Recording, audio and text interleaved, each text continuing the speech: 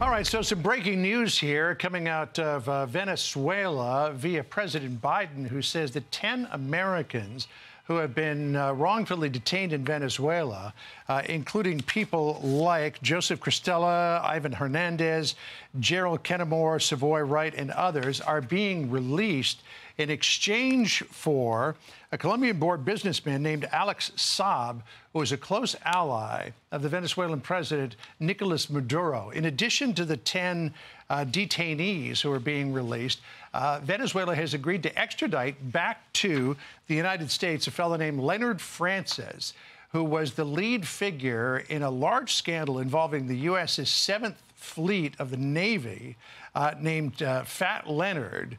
Uh, colloquially. Apparently, he bribed uh, some officers of the Seventh Fleet with about a half a million dollars uh, for classified information about ship movements, as well as other confidential information. So he will be heading back to the United States to finally face justice, and uh, 10 other Americans will be coming home just in time for the holidays. I'm Steve Doocy. I'm Brian Kilmeade. And I'm Ainsley Earhardt. And click here to subscribe to the Fox News YouTube page to catch our hottest interviews and most compelling analysis.